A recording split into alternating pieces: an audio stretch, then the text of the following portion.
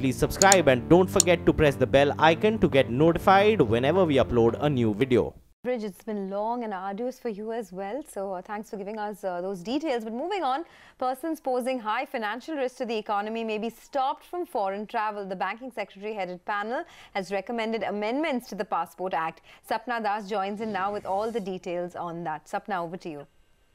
Hi. So this has been under discussion for quite some time, and now we are given to understand that the panel headed by the DFS secretary, uh, well, the recommendations have been submitted uh, to the Ministry of uh, Home Affairs.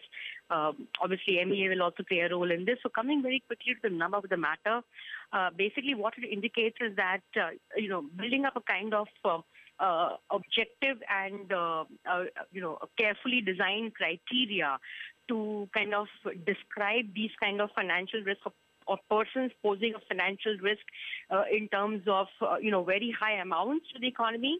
Uh, something probably needs to be done to advise them they should not uh, probably travel or they should stay back till the investigations are, uh, you know, completed.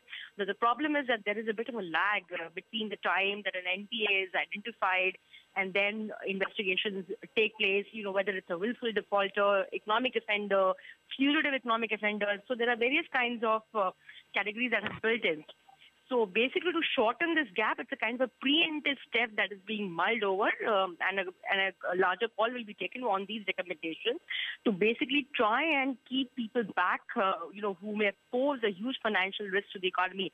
And the important point to be watched out over here is that those prescribed uh, classifications, prescribed amounts are going to be sufficiently high so that there is no panic in the right. country on this front. But this right. is uh,